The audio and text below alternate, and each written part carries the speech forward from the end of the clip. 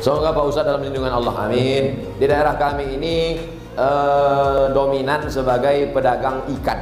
Apakah riba dalam berdagang ikan? Jual gandum bayar gandum, riba. Jual korma bayar korma, riba. Jual emas bayar emas, riba. Jual garam bayar garam, riba. Adapun jual ikan bayar duit, tak riba. Karena di situ ada transaksi jual beli. Aku beli ikan ini sekilo 50 ribu tunai sah.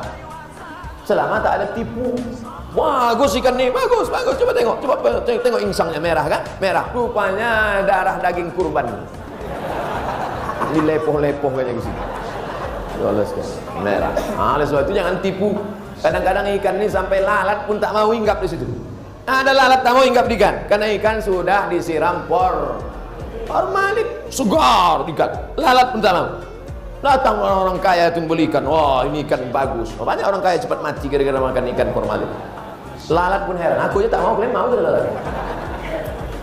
Jangan ada tipu. Nabi masuk ke pasar, Nabi masukkan tangannya ke dalam gandum, Nabi masukkan tangannya ke dalam korma, di dalam basah, di luar kering, di dalam busuk, di luar bagus. Kata Nabi Mahada ya sahibat ta'am. Hei penjual, kenapa nih begini? Kata penjual asalahul mator, kena hujan. Kenapa kau tutup? Kalau ku buka tak laku. Man rasyana falaisa minna. Siapa yang menipu bukan golongan kami. Jangan kasih anak makan dari hasil tipu haram. Otaknya tak menangkap baca Quran. Otaknya tak bersih. Anak yang hijau yang jujur menjadi rusak. Bukan anak itu yang jahat gara-gara kita menyebabkan yang ha haram. Makan nasi halal tapi diberi dari uang haram. Maka darah daging sepiring nasi berubah menjadi setetes darah. Setetes darah berubah menjadi segumpal daging. Daging dalam kulit.